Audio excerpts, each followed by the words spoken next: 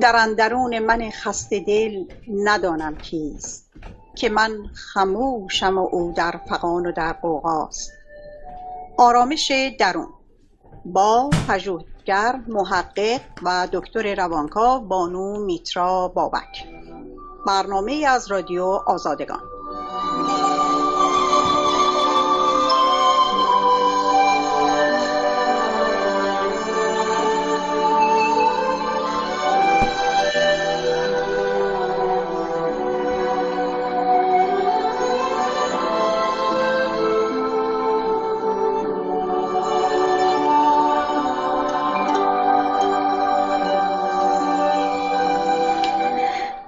عرض سلام و درود خدمت همه شما شنوندگان عزیز و محترم در هر کجای این گیتی که صدای ما رو میشنوید و برنامه دیگر از سری برنامه های آرامش درون رو با هم خواهیم گذراند. در خدمت دکتر عزیز بانوی مهربان میترا بابک عزیز هستیم. بانویی که نزدیک به هفت سال است هر هفته در کنار ما بودند نامه های شما رو خوندیم و سعی کردند و می کنند که دارویی برای دردهای من و شما باشند. بانوی با قلبی بزرگ عشقی عمیق. خدمت شما درود و سلام دارم بانو نازنین میترا بابک عزیزم. آخه خانم ارشادی دلمون براتون تنگ شد. هفته پیش نبودیم برنامه نداشتیم. و امیدوارم که هفته خیلی خوبی داشته باشیم. و سپاسگزارم از مهری که میورزیم نه فقط به من بلکه خود شما یکی از پرمهرترین مهربانوانی هستین که در زندگیم شناختم. خواهش می‌کنم داشتن دوستی مثل شما افتخاری است برای من که در عرض این چندین سال از شما آموختم. در زمان درد سرم رو بر روی شونه های شما گذاشتم. آرامم کردید و درد هامو درمان کردید. این گونه دوست ها پیدا نمیشن. من جواهری دارم به نام میترا بابک. من شرمنده نکنید. وظیفه انسانی اخلاقی هر انسانه که در کنار درد دیگران باشه. یک من چطور می‌تونم شونه های من در اختیار شما عزیز دلم هر ثانیه ای نباشه؟ هممونم تو شرایط مختلف زندگیمون دردهای مختلف زندگی میاد و میره. اینجاست که باید پوست روانیمون رو مستحکمتر بکنه تا بتونیم ایستاده بمیریم. در هر صورت از شما برای همه این محبت ها و این از خودگذشتگی ها که ساعاتی رو که می‌تونید برای زندگی خودتون داشته باشید می‌تونید پول ساز باشه این ساعت ها همه رو کنار می‌گذارید و در کنار من و هموطنان و همزبانانم میستید تا بتونیم دردهامون رو با شما تقسیم کنیم و شما راهنمایی کنید که چگونه زندگی بهتری داشته باشیم. از شما سپاسگزارم بان و اما بریم سراغ ایمیل ها که خیلی زیاده. در طول هفته عزیزان خیلی زنگ زدن درخواست کردن که از طریق واتساپ هم ما بتونیم این مکالمه ها رو داشته باشیم. خدمت همه عزیزان عرض می‌کنم غیر از ایمو هیچ امکان دیگری نیست. خواهش می‌کنم که این رو رعایت بکنید. نامه های خودتون رو برای تک تکتون آدرس فرستادم. دکتر دی بزرگ آر نقطه میترا بابک at هر کدوم تماس گرفتید من آدرس رو براتون فرستادم. خواهش می‌کنم نامه هاتون رو پیام هاتون رو به این آدرس بفرستید و اگر می‌خواین با بانوی نازنین ما صحبت بکنید از طریق ایمو چرا که ایمو هم مجانی است برای شما و همی که ما به خاطر اینکه فشاری به عزیزان نیا در هر کجای جهان که هستن مجانی براشون تموشه ایمو رو به دستگاه پخش وصل کردیم. و ما اولین نامه رو براتون می‌خونم بانو. سلام دکتر جان. من یک پسر پانزده ساله هستم که حدود سه ماه متوجه شدم به همجنس خودم گرایش عاطفی و جنسی دارم. این حس رو بعضی وقتا به جنس مخالفم هم پیدا می‌کنم ولی نسبت به همجنس خودم خیلی بیشتره. و خیلی کم پیش میاد که به دختر علاقه پیدا کنم و این را هم بگم فقط به پسرای هم سن خودم و نهایتا یک سال کوچکتر علاقه دارم.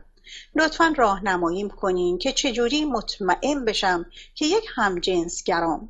من خانواده نرمالی دارم ولی خیلی میترسم که این قضیه رو بهشون بگم چون نمی‌دونم عکس عملشون چیه.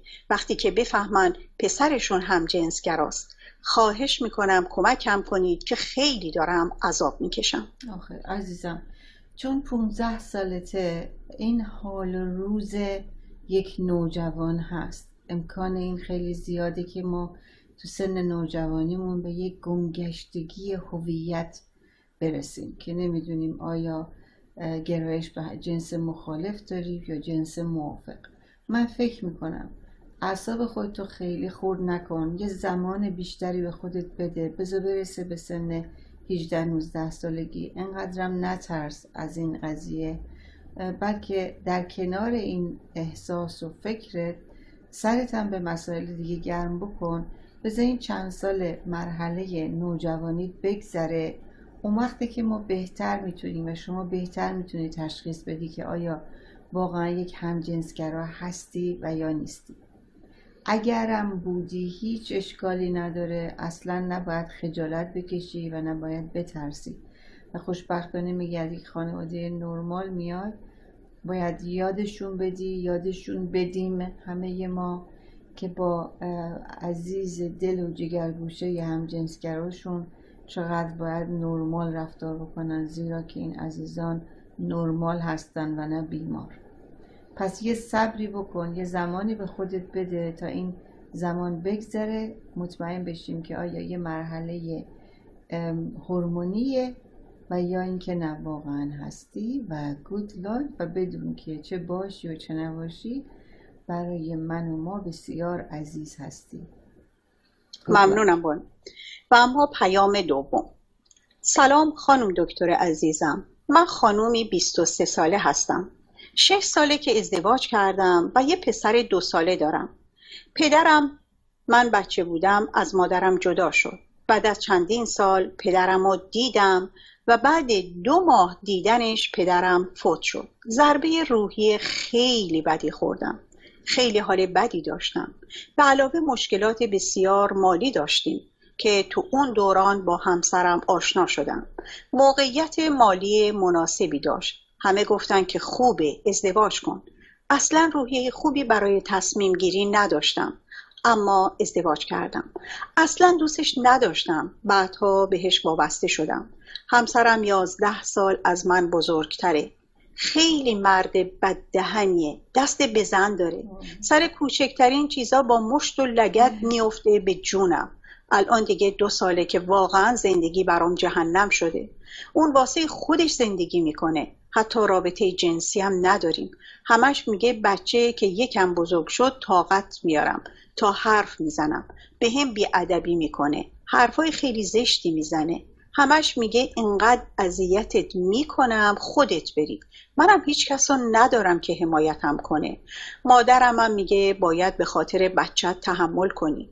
الان افسردگی گرفتم. دست و پام حس بی حس میشه. واقعا روحیم خرابه. نمی‌دونم باید چی کار کنم. ما تو ایران تو شهرستان کوچکی زندگی می‌کنیم. اگه میشه کمکم کنید. تو رو خدا کمکم کنید. خیلی سردرگمم. نمی‌تونم واسه زندگیم تصمیم بگیرم. میترسم از جدایی و عواقبش. خواهش می‌کنم کمکم کنید. آخه عزیزم ایشون همسرتون میگه انقدر اذیتت می‌کنم تا بری یا اینکه صبر می‌کنم تا یکم بچه‌مون بزرگتر بشه بعد جدا بشیم. منظورش اینه. من نمی‌فهمم که چرا شما از جدایی حالا میترسی؟ وقتی ایشون شما رو نمی‌خواد وقتی چرا مامان برمیگرده میگه به خاطر بچت صبر کن تحمل کن. اون بچه شدیدن داره زیر دست شما و باباش آسیب می‌خوره. این بچه چیزی ازش نمیمونه که به فرض پنج سال ده سال دیگه بخواین شما از هم جدا بشین. یه بچه بیمار هر دوتاتون تحویل دادید آقایی که یازده سال از شما بزرگتره به چه دلیل با شما ازدواج کرد؟ دلیل این این همه اختلافات شما چیه که این آقا داره اینجوری صحبت می‌کنه؟ خب بچه نبوده که ازدواج کرده. چرا انقدر از ازدواج با شما پشیمونه؟ و شما به خاطر اینکه اونجوری پدر رو از دست دو بار از دست دادید یک بار با جدایی و بعدش هم با مرگ پدر بعد از اینکه دو ماه تازه بعد از سالها پدر رو دیدید شما خلای عاطفی خیلی خیلی زیاد دارید ولی فکر نکن که با بودن تو این رابطه اسیدی این رابطه دقیقا اسیدیه. بچه شما کمتر از شما آسیب می‌خوره. مطمئن باش که حتی ممکن از شما هم بیشتر بچهتون آسیب بخوره. تا بچه دوم درست نشده شما باید برای خودت یه مسئولیت و یه استقلالی پیدا بکنی. شما باید اول کار بکنی درآمدی داشته باشی که سربار مادر نشی. بعضی وقتا خانواده میترسن که برگرده دخترشون برگرده به خونه پدر آبروشون بره و یا اینکه خرجشون زیاد بشه حالا یه نونخور اضافه بشه. شما به جای اینکه انقدر احساس درماندگی بکنی دو کار باید بکنی. اول اینکه ببینی آیا میشه کمک حرفه‌ای بگیریم برای خودتون و شوهرتون که چرا شوهرتون اینجوری با شما صحبت می‌کنه؟ مشکل شما کجاست؟ آیا درست میشه؟ این ازدواج درست به شو هست؟ اگر هست فبها. اگر نیست شما هر چه زودتر. از همین حالا که صدای منو شنیدی شما به دنبال یک کار و حرفه برو. کار کن. حتی اگر شده خونه های مردم رو تمیز کنی هر کاری مادامی که شرافت داشته باشی هیچ عیب نیست. که شما استقلال مالی داشته باشی. فردای روزگارم که اگر ایشون شما رو طلاق داد و یا شما تصمیم به طلاق گرفتی بشی یک مادر مهربان و یک مادر مقتدر و مستقل که می‌تونه از پس زندگی خودش و بچهش بر بیاد. نه اینکه از روی درماندگی مالی و یا درماندگی عاطفی یا اینکه عادت که به چی عادت کردی؟ به یه رابطه اسیدی. شما معتاد شده به یه رابطه اسیدی. یعنی چی بهش عادت کردم؟ سکس هم که نداری.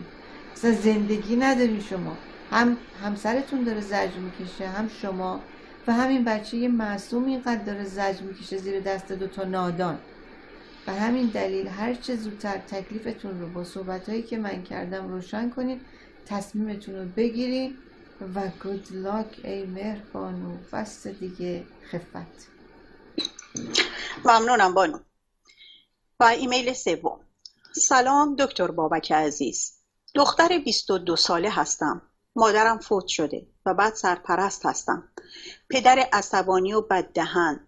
دو سال درگیر یک رابطه با پسر 20 ساله ای هستم. اوایل همه چیز رویارویی بود. اما دروغگو و پنهانکاره. و بدون من به مهمانی های مختلف میره. ما هر دو اعتیاد به مشروب و ماریجوانا داریم. از قبل از آشنایی با هم حدوداً سه ساله.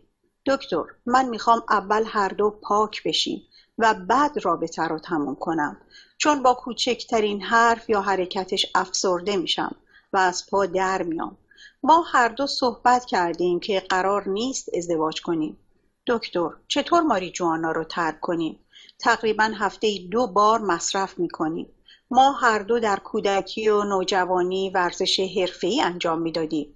اما حالا حتی درس هم نمی‌خونیم و من از پس کارهای کوچک هم به سختی برمیام.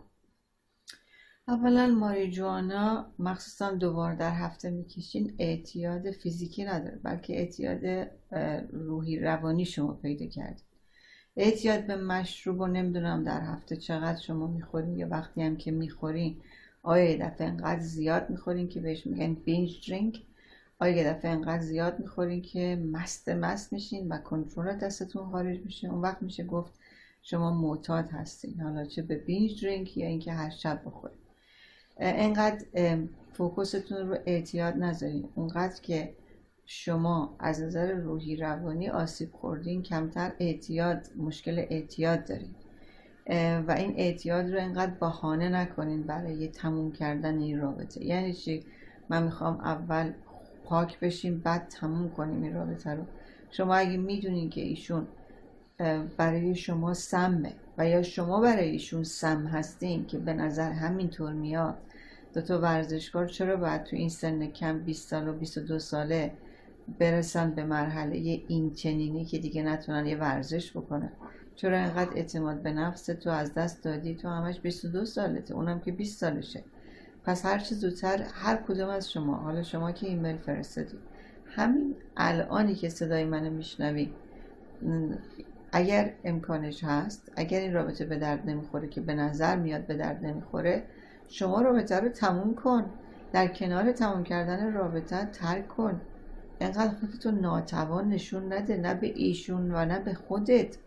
تو خودت خودتو ناتوان کردی عزیزم. یه عزیز 22 ساله یه جوون 22 ساله چرا انقدر خودش به خودش تلقین می‌کنه که ناتوانم نمی‌توانم؟ می‌توانی. اگر بخوای می‌تونی ترک کنی. تازه من معتادای بسیار بسیار سی چل ساله جدی رو ترک دادم. چون که دیگه اصلا ماریجوانا دو بار در هفته می‌کشی مشروبم نمی‌دونم چند بار در هفته یا ماه می‌خوری.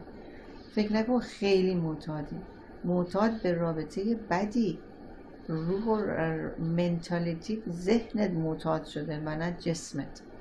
پس کار ترک اعتیادت اتفاقا بسیار آسانتر از دیگران. و هر چه زودتر تصمیم خودتو بگیر اولین کاری که می‌کنی من فکر می‌کنم ترک در کنار ترک رابطه رو تموم کن. رابطه ای که شما دوتا رو داره به نابودی میکشونه رابطه اسیدی خطرناکه و به درد هیچ کدومتون نمی‌خوره. جفتتون هم دیگر رو نابود می‌کنه. اینقدر لوس بازی در نیارین که عاشقشم و عادت کردم بهش. به اعتیاد بر بریم برنامه اعتیاد در رابطه رو نگاه کنیم. به همین اندازه مواد مخدر و مشروب خطرناکه. لوس بازی هم در نیارین. یکیتون هر چه زودتر از این رابطه بیاد بیرون ترکش هم آسونه هم ترک رابطه. یه خورده غمگین میشین عصبانی میشی می‌خوای بودایی برید مای جوانات رو بکشی. اینا همه گیم بازی و اون مثلث قربانی است که مثل قربانی بودن می‌کنه طرف. شما باید ناجی و راهنمای خودت بشی پاشی ورزشت شروع کنی صعود کنی. این چیه که انداخته خودتو تو دره؟ داری صعود می‌کنی طرفم با خودت میکشونی یا اون داره تو رو به طرف دره میکشونه؟ پاشو بیست هرچه زودتر کوه برو بالا. نه اینکه خودتو پرت کنی ته دره عزیزم و گود لاک خسته نباشید بانو و اما ایمیل بعد. با عرض سلام و خسته نباشید خدمت خانم دکتر عزیز. من یه دختر 23 ساله از شهرستان ترقبه هستم.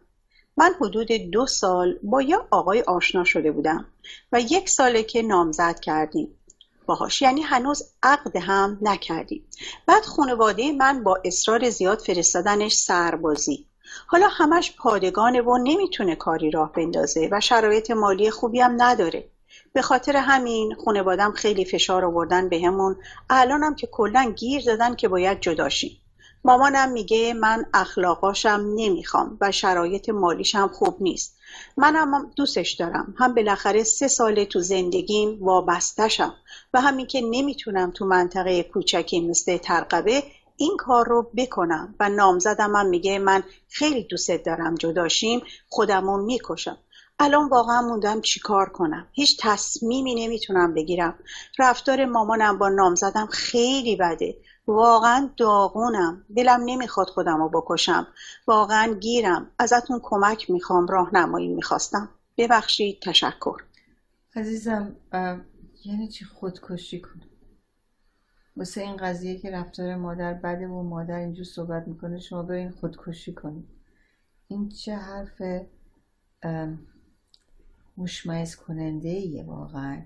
که آدم وقتی که به یه بنبستی می‌رسه فورا به جای اینکه فکر راه مسیر حرکتش رو تغییر بده و راه فرار و راه دیل کردن و یا مقابله کردن رو باش پیدا کنه فورا کلمه خودکشی بیاره. شما از این وقت کلمه خودکشی آوردی اونم از اون بر میگه اگه نامزدی رو به هم بزنی خودکشی می‌کنی. بچه بازی ها چیه در میارین شما؟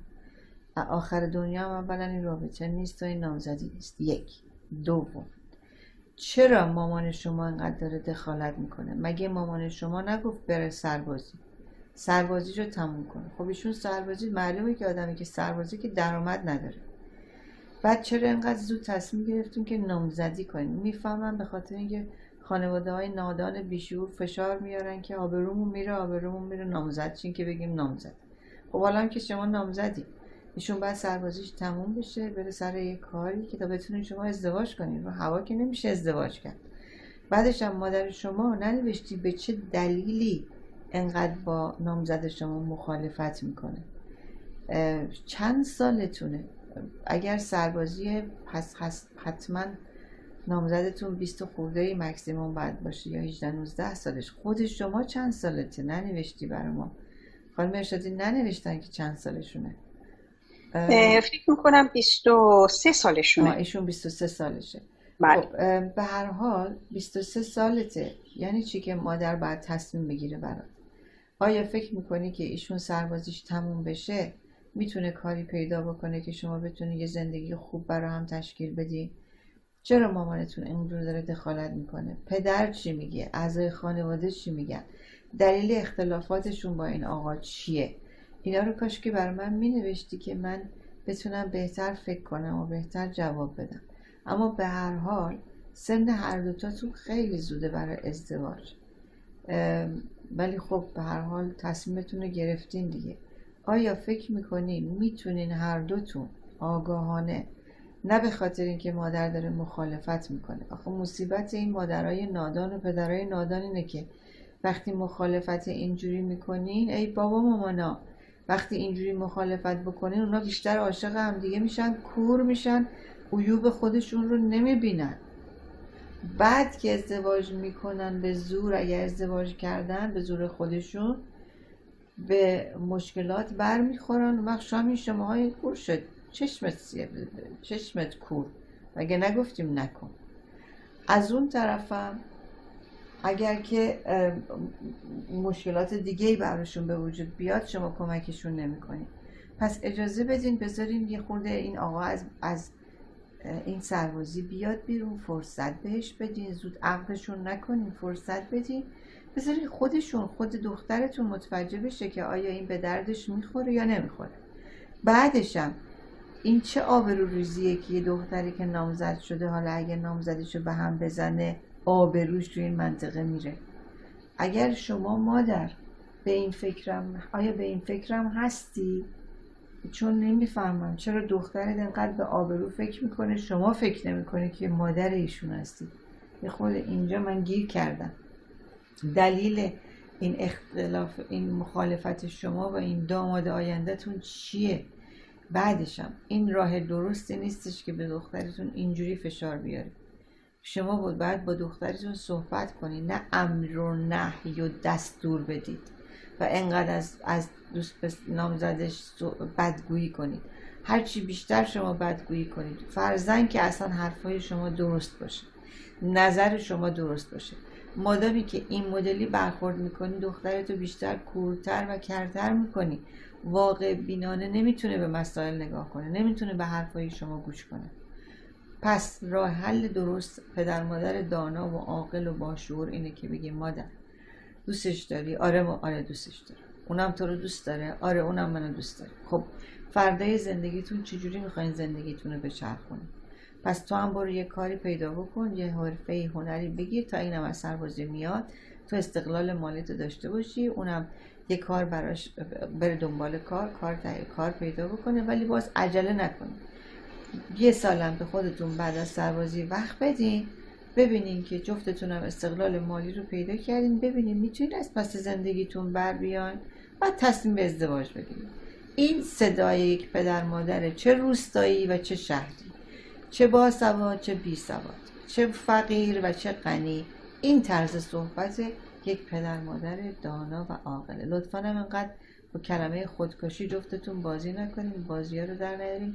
هیچی ارزش خودکشی رو در این دنیا ندارد عزیز دلم و گودلاک سپاسگزارم بانو. اما شما می‌دونید که یکی از کارهایی که ایرانیا مرتب اینجا هم همینطوری میگن تهدید می‌کنن مرتب میگن خودکشی می‌کنیم. البته منظورم به این نازنین نیست. کلا خودکشی در ایران رو عرض کردم خدمتتون. بله دقیقا خانم ارشادی چقدر زشته واقعا. در فر ببخشید یه پرانتز من بذارم. در فرهنگ ایلام کردستان کرمانشاه و بعضی از شهرهای ترکنشین مخصوصا ما این حرکت رو خیلی خیلی زیاد می‌بینیم. وقتی من پژوهش می‌کنم می‌بینیم که تاریخی و حتی تا حالا این فرهنگ خیلی خیلی ترسناک و زشت و کری مخصوصا در دخترها و خانمها زیاده. که تا تقلی به توقی می‌خوره میگه خودکشی می‌کنن و معمولا هم خودسوزی می‌کنن. و این واقعا دردناکه. واقعا. یعنی برای اینکه طرف مقابل رو بترسونن و یا اینکه تا آخر عمرش زجرش بدن خودشون رو آتیش می‌زنن. و این خیلی حرکت زشتیه. اولا که بذارین من به همه اونایی که همچین وپن و یا اسلحه رو استفاده می‌کنن بگم چقدر بدبختی چقدر نادان بیشعوری که فکر می‌کنی با از بین بردن خودت طرف مقابلت تا آخر عمرش میسوزونه. نه خیر طرف مقابل ممکنه که برای روزها و ماهای اول ناراحت بشه. همون روزهای اول همه مردم همه 99 درصد مردم میگن دیوونه بود یا می‌خواست خودشو نکشه. هر کسی هم که تو فکر کردی که می‌تونی تا آخر عمرش بسوزونی و داغونش بکنی فکرشو بدون که اونم یادش میره و میره توی زندگی خودش رو میگه می‌خواست نکنه.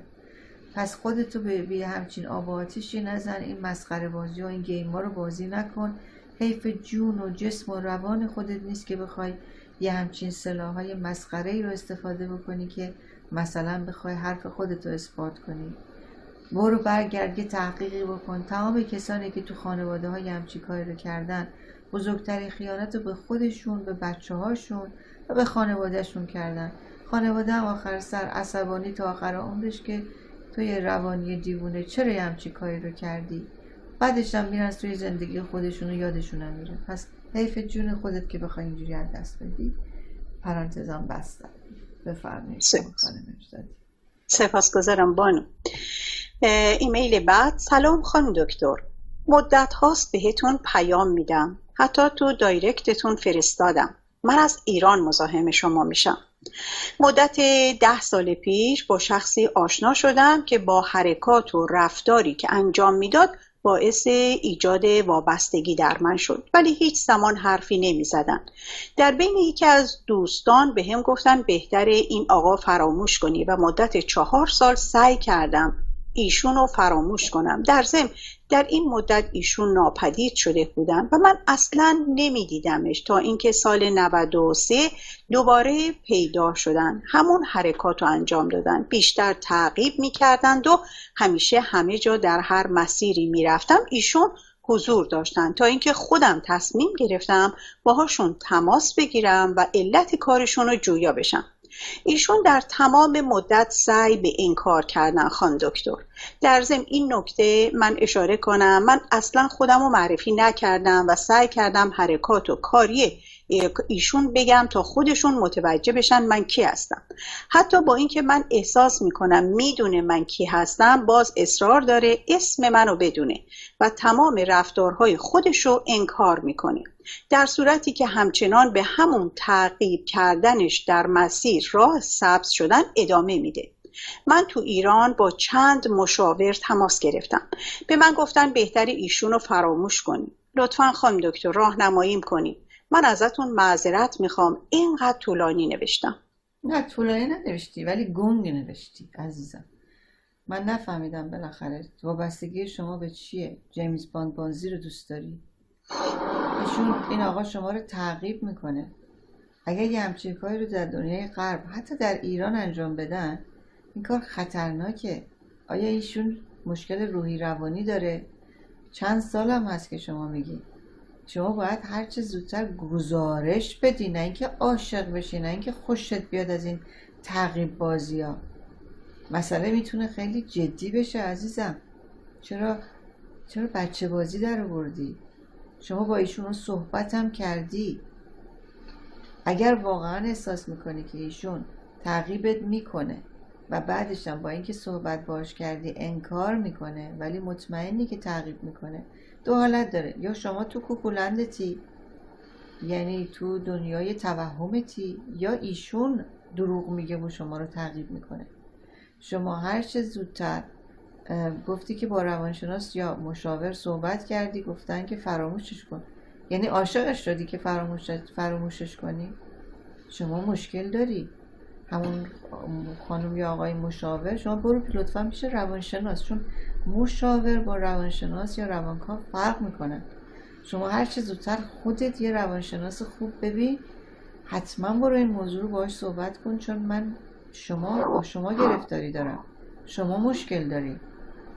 که ببینیم چرا باید وابسته یه همچین حرکات خطرناکی باشی. شما اگه کسی همچین کاری تو این کشور بکنه اون شخص سریع دستگیر میشه.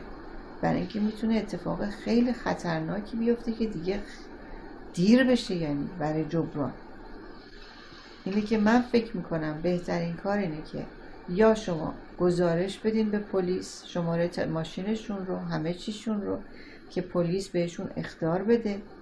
و در کنار این قضیه هم چون شما وابسته این کاراییشون شدی و یه مدت نبود حالا پیدا شده لابد اون مدتی که نبود شما دلت واسهش تنگ شد که ای از تو ماشینت از تو آینه نگاه کنی که دنبالت هست یا نه. خ... یعنی این بازیه. من نگران شما آیا نرمال هستی؟ شما هر چه زودتر خودتو به روانشناس خوب نشون بده در مورد احساسات شما باید با, باید با شما رو شما کار کنن که شما رو از این دنیای جیمز باندی بیارن بیرون.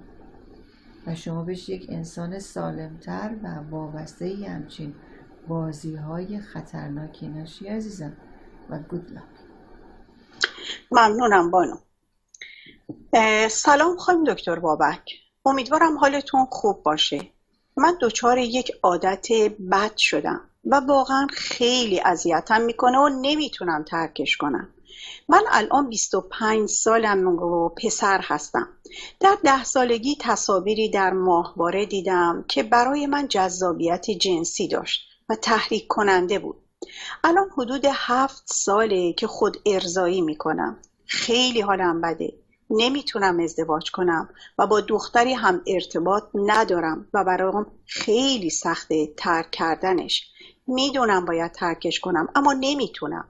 در ایران زندگی می‌کنم و دانشجو هستم. خواهش می‌کنم کمکم کنید. احساس می‌کنم داره من رو نابود می‌کنه روز به روز.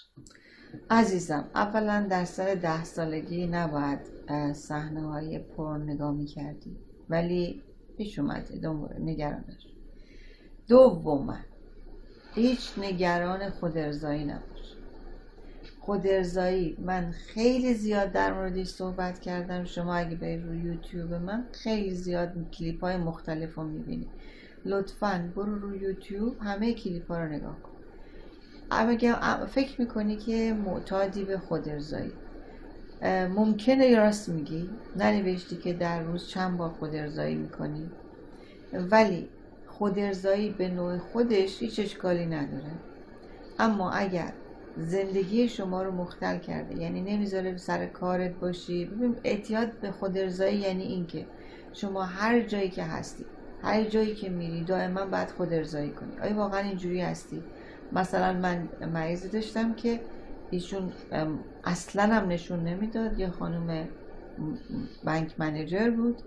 خیلی خوشتیب خیلی خوشگل. اصلا هم نشون نمی‌داد. ولی ایشون به من می‌گفت زمان لانچ تایمم یعنی بین کارم میرم تو یکی از این پابا هر جا که پاب باشه میرم یه نفر رو پیدا می‌کنم میرم تو دستشویش با طرف خود ارزایی می‌کنم. باید هر روز این کار رو بکنم. خب این میشه اعتیاد.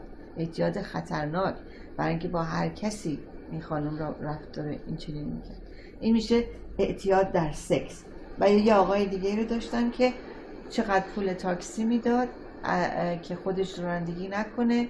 برای رفتن سر کار و برگشتن سر کارش برای اینکه پشت تاکسی تا, بر... تا برسه به خونه خودش چندین با خوده اینا میشه اعتیاد. ولی شما که یه دانشجو هستی چند بار در بشین فکر کن ببین چند بار خود ارزایی می‌کنی. بعدشم اگر احیانا چون ننوشته اینجوری جواب تو اینجوری میدم. اگر احیانا سر هر کاری نشستی سر درستی تو کلاسی همش می‌خوای خود ارضایی کنی خب شما اعتیاد به خود ارضایی داری. ولی نترس قابل علاج هست.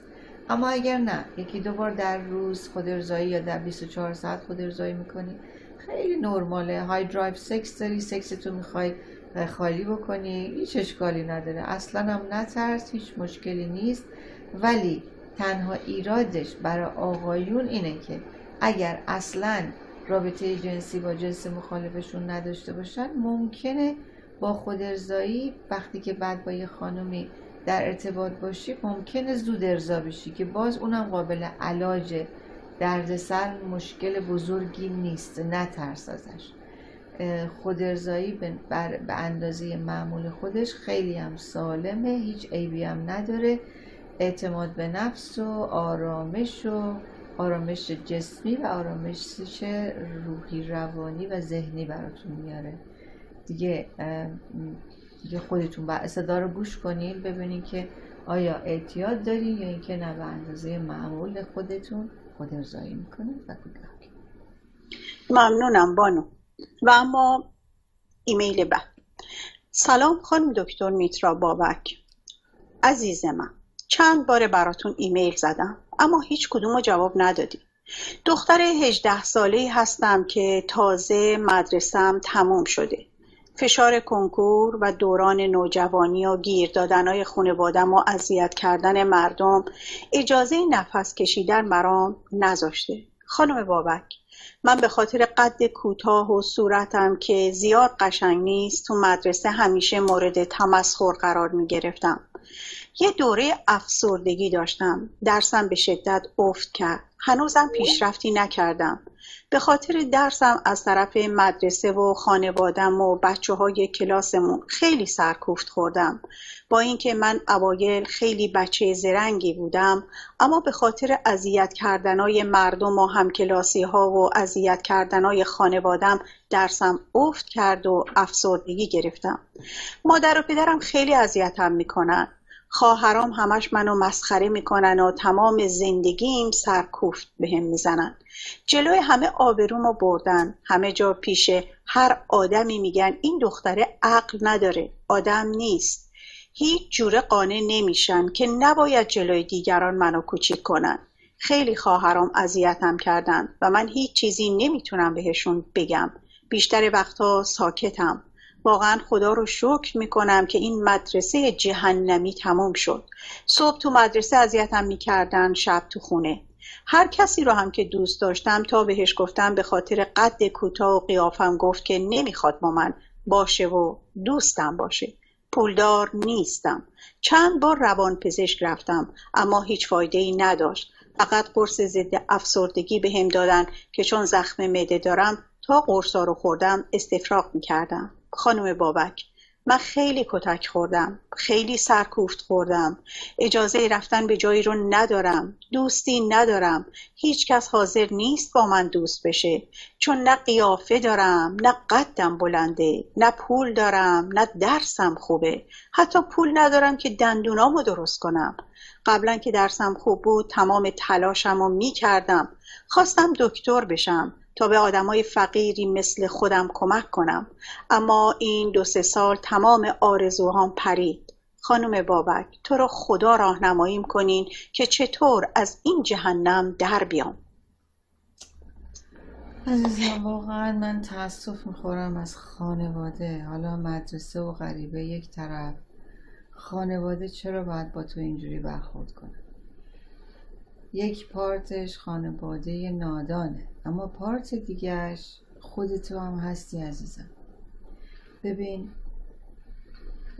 کریزما به انگلیسی میگن کریزما. یعنی یه جذابیتی که خیلی خیلی ارزشش و زیباییش و جذابیتش بیشتر از صورت و قد و هیکله. و اینو من می‌خوام توی خودت پیدا کنی. تو میگی درست خوب بوده پس چرا درست بد شد؟ چرا میگی سکوت می‌کنم در برابر حرفای تحقیر کننده خانواده و خواهرات جلوی مردم؟ چرا سکوت می‌کنی؟ سکوت تو باعث میشه که خودتو بیشتر تحقیر کنی و اونا هم باورشون بشه که تو خنگی و دانا نیستی. و به خودشون اجازه بدن نامهربانی بکنن و این چنین با خواهر عزیزشون برخورد بکنن. بسیاری از زنای بسیار زیبا یا آقایون بسیار جذاب شخصیتی ندارن که دهنشون رو وا می‌کنن حال آدم به هم می‌خوره از اون یعنی مات میمونه شک میشه آدم از اون قد و قواره و هیکل و زیبایی که وقتی وقتی برخورد دادن باهاشون می‌کنه چه طرز صحبت کردنشون چه طرز تفکرشون چه طرز رفتارشون شخصیتشون همه اون زیباییشون زیر سوال میره عزیزم. بسیاری از آدم هایی که انسان هایی که زیبایی ظاهری ندارن چه هیکل و چه صورت اما شخصیت دارن اما فانیان اما جذابن. اینا خیلی خیلی ارزششون برای مردم و احترامشون برای مردم خیلی بیشتره. تو سعی کن رو این کار کنی تا اینکه انقدر دلت برای خودت بسوزه که هیچیم قشنگ نیست. رو شخصیتت کار بکن. من فکر می‌کنم اگه امکان داره برات کمک تراپی بگیر. حالا که مدت ناراحتی و نمی‌تونی دارو بخوری کمک تراپی بگیر. چند تا سلسه کمک تراپی خوب بگیر که بتونه اعتماد به نفس تو بهت برگردونه. یا یک اعتماد به نفس بتونی برات درست بکنه و نشایش رو برات بزنه. در کنارش مهارت ها رو به یاد بهت یاد بده که تو بتونی حالا از حالا به بعد مگه همش چند سال تعیزم تو به نظر میاد 18 تا 21 ساله بیشتر نباشی که تا کنکور خود تو رسوندی. اگه بخوای اینجوری فکر بکنی و انقدر دلت برای خودت بسوزه خودت خودتو داری نابود می‌کنی. مثلث قربانی رو برای یه لحظه فکر کن و برو برنامه رو نگاه کن. تو الان تو یه زل اون بالا خودتو قربانی می‌بینی. زل این و آزاردهنده ها همه همه آزاردهندن و تو به دنبال ناجی میگردی و فکر می‌کنی که یه دوست به سر بگیری ناجی میشه یا کسی تو رو دوست داشته باشه ناجی میشه برات. مادامی که خودت ناجی خودت نیستی و خودت برای شخصیت خودت احترام قائل نیستی و ظاهر خودت رو انقدر زیر سوال می‌بری طبیعتا حتی خواهر آدم به آدم احترام نمی‌ذاره. چون دلت برای خودت خیلی سوخته و احساس قربانی بودن خیلی زیاد کردی. من همیشه میگم ای بالغ مهم نیست که مهم هست و نیست. چقدر ما آسیب خوردیم در گذشته. اما به عنوان یک بالغ باید خودمون رو قربانی نگه نداریم. اگر دلمون برای خودمون بسوزه بزرگترین خائن به خودمون خودمون. بزرگترین دشمن به خودمون خودمون برای اینکه جلوی رشدمون رو خودمون می‌گیریم. حالا قشنگ شروع کن. روی شخصیتت کار کردن. از کلیپ های مختلف درس بگیر از شخصیت های مختلف الگو برداری بکن. یه دوباره سازی شخصیتی باید برای خودت بکنی. فانی بودن شوخ بودن خیلی جذابه. بسیاری از آدم ها چه زن و چه مرد هیچ تیپی ندارن هیچ خوشگل نیستن. ولی به خاطر اینکه فانی و شوخ طبعن و به خاطر اینکه با سوادن چون سواد که به مدرک نیست عزیزم. اطلاعاتتو ببرز بالا گروه دوستایی متفاوتی برای خودت پیدا بکن بحث های جالبی بیار وسط و حتی با خواهرات که اینا برای تو شخصیت قائل بشن. اینی که من جوابشون نمیدم دلت واسه خودت میسوزه میری یه گوشه میشینی گریه می‌کنی اونها رو بیشتر عصبانی می‌کنی. از خودت و بیشتر بهشون اجازه میدی که تحقیرت کنن. سفت محکمم به ایست جلو هر کسی من جمله خواهرات و سفت محکم بگو شما حق ندارید. شما حق ندارید به من توهین کنید. وقتی برای خودش آدم شخصیت قائل بشه وقتی انسان برای خودش حرمت قائل بشه دیگران هم جرأت نمی‌کنن. یکی دو بار می‌کنن بعد خفه میشن. دیگه جرأت نمی‌کنن که به من نوعی بی حرمتی کنن. و گودلاک عزیز دلم. خسته نباشید بانوی مهربان. و اما ایمیل بعدی. سلام وقت به خیر به خانم دکتر. یک سوال داشتم از محضرتون. من و همسرم دوازده سال زندگی کردیم. چند سال متوجه شدم با خواهرزاده هم که پسر 27 ساله هستش رابطه داره. به گفته خودش فقط در حد اسمس بوده که البته خیلی عاشقانه رد و بدل می‌شد که دیدم و به من سرده من هم برای جبرانش مدتی مثل خودش رفتار کردم ولی دیگه نمی‌تونم این رابطه پنهانی اذیتم می‌کنه.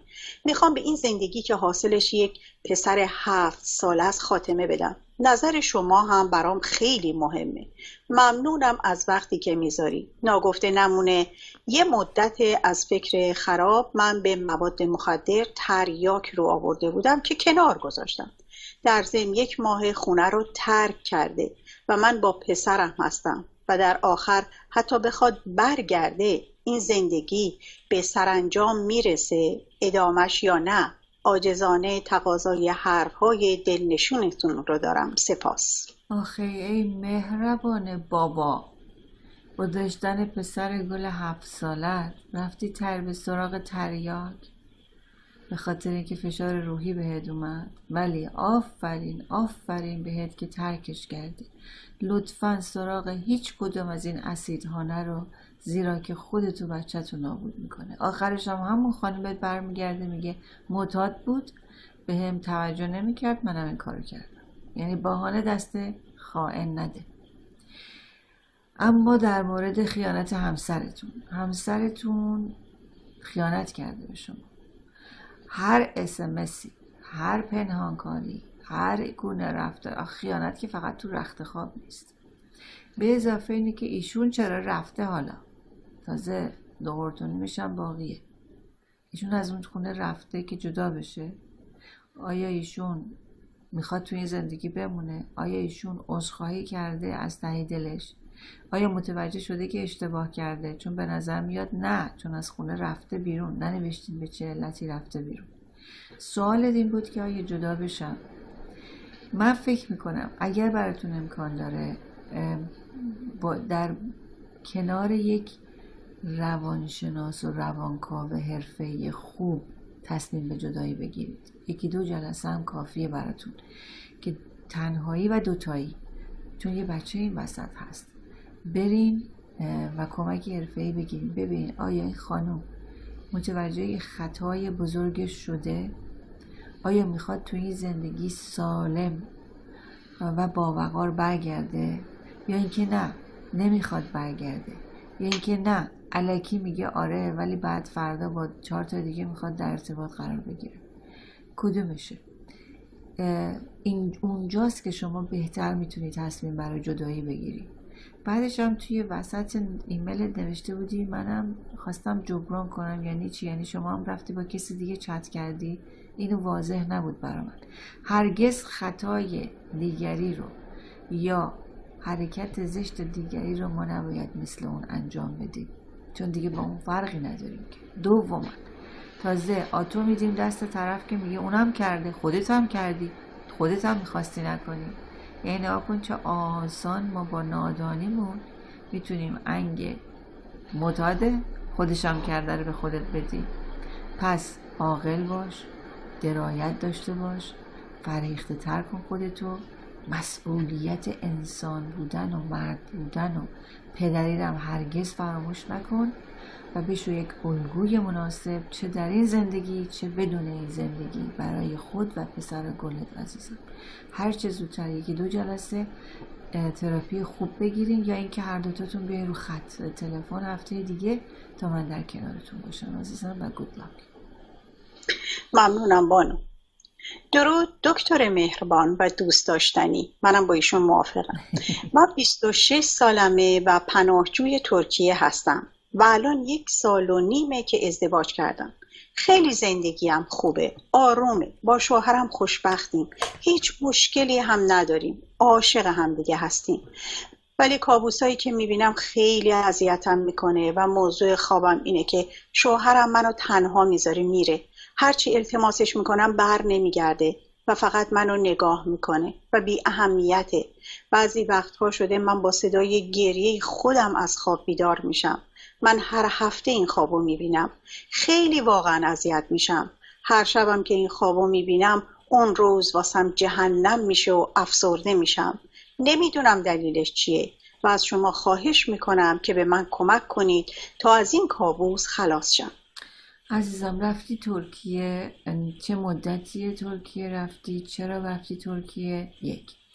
دوما این خواب نشون دهنده وابستگی شدید شما به همسرته و ترس از از دست دادن و rejection یا پس زدن که این برمیگرده به دوران کودکی شما. آیا در گذشته چیزی رو از دست دادین؟ آیا بی محبتی بی مهری از کودکی از کسی دیدید؟ در زندگی خودتون الان با همسرتون چه بیمهری از همسرتون می‌بینید؟ آیا گدای عشق و توجه هستی؟ آیا شدیدن کمبود توجه داری در کودکی و نوجوانی و حالت؟ رابطه خودت با همسرت به چه صورته؟ وقتی که بیدار میشی در روز در شب همسرت رفتارش با شما چگونه است؟ برای اینکه اینا همه برمیگرده به نیازهای شما به ناتوانی های شما. به اضافه اینه که اگه بخوای به این صورت پیش بری و هی به همسرت هم گیر بدی که همسرت کمتر کم کم خسته میشه از این گدای توجه بودن شما. و بعد در روز اگر به شما بیمهری بکنه یا به قول خودت مثل همون خوابت بهت نگاه کنه ولی بره در روز وقتی اینو ببینی خوابت برات کابوست برات بیشتر میشه. برای اینکه مهر تایید می‌ذاره که آن ببین پس خوابم درسته. این بالاخره منو ترک می‌کنه این به من بیمهره. برای احساس من ارزش قائل نیست. مردم خسته میشن. پدر مادر آدم از آدم خسته میشه. وای به حال همسر. شما سعی کن رو خودت کار بکنی رو این کابوست که کابوست ریشه داره. از کجا این کم بوده عشق و محبت شما میاد؟ سر خودت رو گرم بکن و وقتی هم که بیدار میشی انقدر به این کابوست فکر نکن. شما داری با این کابوست زندگی می‌کنی. یعنی شب میخوابی بهش فکر می‌کنی. بعد بیدار میشی با گریه و جیغ بهش فکر می‌کنی. فردا صبحش تا شب دوباره بهش فکر می‌کنی. حتما هی هم به شوهرت میگی این کابوس تکراری تو. خب دیگه بورینگ و کسل کننده میشه. به جای اینکه انقدر به این کابوست که خیلی هم کابوس وحشتناکی نیست فکر کنی سر خودتو گرم کن عزیزم. زندگی کن و اجازه بده شوهر زندگی کنه. و در کنارش و شما وقتی کار بکنی مشغول باشی دیگه وقت افسردگی وقت استرس وقت فکر کابوس ها تو نداری. آدم بیکار متاسفانه گرفتار افسردگی و استراب و استرس میشه. برای اینکه بیکاره دیگه بهتره به این فکر کنه. اما آدمی که کار می‌کنه و مشغوله و حتی اگرم احیانا بگی آره من دارم کار می‌کنم لطفا سر کارت حرفه‌ای باش. اگر این لحظه های کابوست میاد تو فکرت فورا شما باید ذهنت رو اداره کنی کنترلش کنی و یا ادارش کنی و نه اینکه کابوست زندگی شما رو اداره بکنه. شما اجازه میدی که کابوس زندگیش 24 ساعته شما رو خراب کنه و اداره کنه. حالا صحبات که خواب می‌بینی که همسرت بهت نگاه می‌کنه بعد می‌ذاره میره. بره اصلا. اصلا واقعیت هم شما برای یه لحظه فکر کن که زندگی شما برسه به جایی که شما بخواین از هم جدا شین همسایه شوهرتون بره. باز آخر دنیا نشده که. چرا اینقدر وابستگی؟ چرا اینقدر چسب دوقلویی؟ چرا اینقدر آویزون بودن؟ هر مرد و زن باید استقلال داشته باشه. استقلالش بهش حرمت احترام و اعتماد به نفس و حرمت نفس میده. که با هر از دست دادنی انسان سقوط نکنه ته دره غرق نشه. قایقران و کاپیتان خوبی برای خودمون در زندگی خودمون باید باشیم که بتونیم خود زندگی خود را بچرخانیم و نه آویزان دیگری که او ما را بچرخاند. گود لاک عزیزم. ممنونم بانو و آخرین ایمیل. درود بر شما. دختر من حدود چهار سال داره. از سه سالگی شروع کرد به مالیدن اندام جنسیش به زمین. به دکتر مراجعه کردیم آزمایش دادیم. هیچی نبود مثل انگل. گفتن که اصلا به روی خودتون نیارید. این شناسایی اندام جنسی در کودکانه. ولی این کارش تا الان ادامه داره. و مشکلاتی به همراه داره. مثل اینکه مهمونی هم میریم انجام میده و باعث ناراحتی ما میشه. آیا کاری میشه کرد؟ ما اصلا دعواش نکردیم تا حالا و اینکه با بازی هم نمیشه ترکش داد. لطفا ما رو راهنمایی کنید. کودک جنین در شکم مادر هفتاد درصد سکشوالشه که رشد می‌کنه. و کودک شما یه مقدار های درایو سکسش بالاتره اون احساس و نیاز جنسیش بالاست که دست خودش نیست. حالا یا رابطه شما رابطه جنسی شما رو هم دیده یا ندیده ولی به هر حال چیزهای محرکش هم بوده و یا نبوده. اما به هر حال اول شما باید مراقب باشین که رابطه جنسی شما پدر مادر رو نبینه. دوما نترسین. معمولا کودکان کنجکاو به دنبال هویت خودشونن و به دنبال شناختن اعضای بدنشون.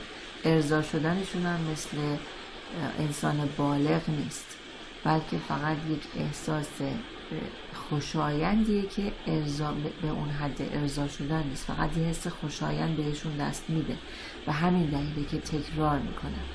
اما شما بهتره که دو کار بکنید یکی اینکه وقتی که خودش رو به مبل و به زمین میماله حواسش رو سریع پرد کنید اگر براتون امکان داره هر چی زودتر یه حیوان خانگی براش بیارید سگ و یا گربه. یه حیوان خانگی براش بیاریم که این بچه سرش حسابی به بازی با این حیوان خانگی گرم بشه. خیلی کمکش می‌کنه که کمتر به فکر احساس جنسیش باشه. و هر وقتم که به فرض این احساس بهش دست میده دوباره سریع سگش رو میاریم پلوش گربش رو میاریم پلوش سرش رو گرم می‌کنه. و در کنارش هم کار دیگه اینه که خودش اگر حیوان خانگی هنوز نداره شما حواسش رو پرد بکنید به یه طریقی که خودتون باید بدونید چجوری بتونید حواسش رو پرد بکنید ولی اون نباید بفهمه که مخصوصا این حواسش رو پرد می‌کنید چون ممکنه لجبازی کنه دیگه باورتون نکنه گوش نکنه. همون ادامه بده کارش و بعد زمانی که خودش رو داره به فرض توی مهمونی جلوی کسی این کارو می‌کنه بلندش می‌کنی میبرینش ببرینش تو اتاق خودش اگه اتاق خودش رو داره و بهش بگیم این کار پارت خصوصی بدن ما مثل آلت تناسلی ما به خودمون مربوطه و نباید در منع عام حرکتی از خودمون نشون بدیم. ما این کار قشنگ نیست این کار درست نیستش. تو اتاق خودش تو اتاق خودش بذاری. ولی نگین که برو تو اتاق خودت این کارو بکن. چون وقت یه جوری یه جورایی تشویق میشه که اوکی پس بیشتر می‌تونم بکنم. ولی همین که بلندش می‌کنیم میبرینش توی اتاق دیگه بدونین که اصلا مهمونا متوجه بشن شما بلندش می‌کنیم خیلی نایسلی میبرینش.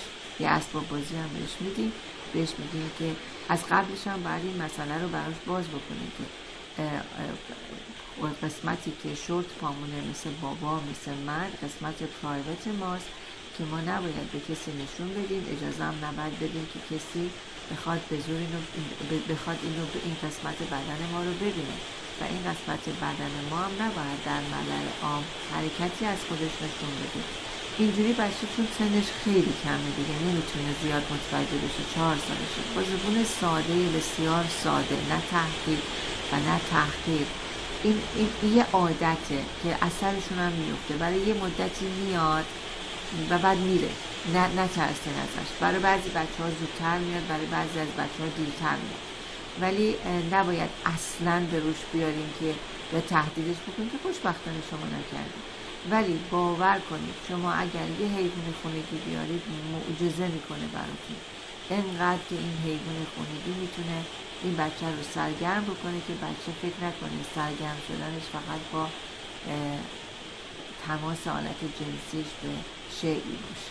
و خیلی خیلی می‌تونه آسایش خاطر به شما بده. به اضافه اینی که این نیو ممبر یا عضو خانواده جدید یا سگ یا گربه رنگ بسیار زیبایی به زندگی خودتون میده عزیزان. و زندگی شما رو خیلی گرمتر می‌کنه و حواس بچهتون رو شدیدن گرم می‌کنه به این عضو جدید و این عزیز دل ما این فرشته های زمینی که ما متاسفانه در ایران به اندازه کافی قدرشون رو نمی‌دونیم. و گود ممنونم بانو میترا بابک عزیز. خسته نباشید. امیدوارم که همیشه دلتون خوش باشه تنتون سالم باشه که برای تک تک ما بسیار اهمیت داره و شما رو دوست میداریم.